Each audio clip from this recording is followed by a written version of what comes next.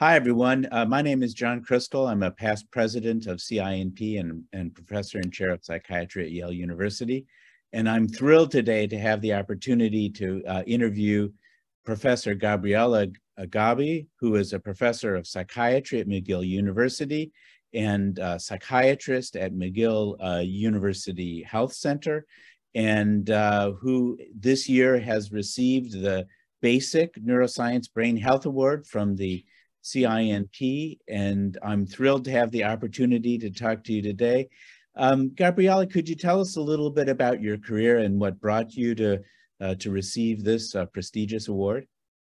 Uh, yes, I, I start uh, my career by studying medicine where I graduated in Rome in 1991. Uh, then I start my residency in uh, psychiatry but after the residency, I was not very happy because I was uh, curious. I want to know more about uh, psychiatric disease, the pathophysiology, the treatment. So I start a PhD in uh, basic research and uh, psychopharmacology. And then I start my career as a PI going through the discovery in uh, psychopharmacology and treatment for mental disease. Oh, that's wonderful your work has been so important to helping us understand how uh, psychedelic drugs uh, act in the brain. And this is such an exciting area right now as there's so much research uh, trying to uh, capture the therapeutic potential of psychedelic drugs and to understand their risks.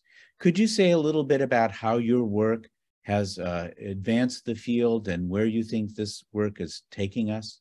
Mm -hmm. Yeah, I started to study psychedelics about uh, eight, ten years ago, a little bit for personal curiosity about uh, the power of psychedelics to really change the mind, change the interpretation of suffering, of trauma.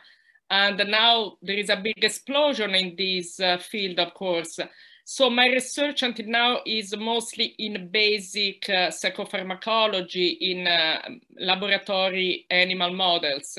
So what uh, we discover about these psychedelics that on one hand, they work as uh, antidepressant, for example, interacting with the 5-HT1A receptor, with the serotonin transporter receptor, the AMPA, but on the same time, they also activate circuits that are not uh, classically activated by uh, antidepressant or antipsychotic as the DMN, how, how the salience uh, uh, network. So I think is there the specificity of psychedelics. On one hand, they interact with very well-known receptors, 5-HT2A, for example, but on the other hand, uh, they have the power to activate other circuits that are very important for uh, mental disease. Oh, that's mm -hmm. wonderful and so important to the field.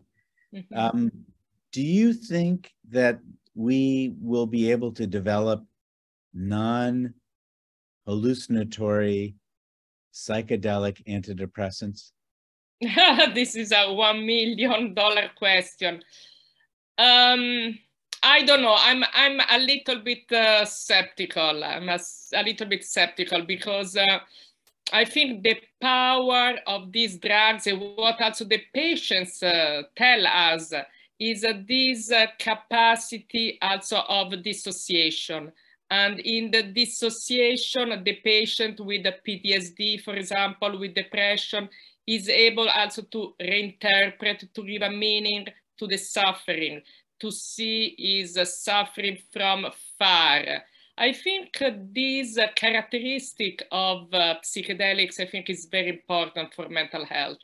I'm not sure if we can dissociate the 5-HT2A from uh, this capacity to give the dissociation, we can have a really uh, psychotropic and therapeutic effect. Well, thanks so much congratulations on all that you've accomplished and brought to the field. And congratulations again on this wonderful honor. It's been wonderful to talk to you. Thank you, John. Bye.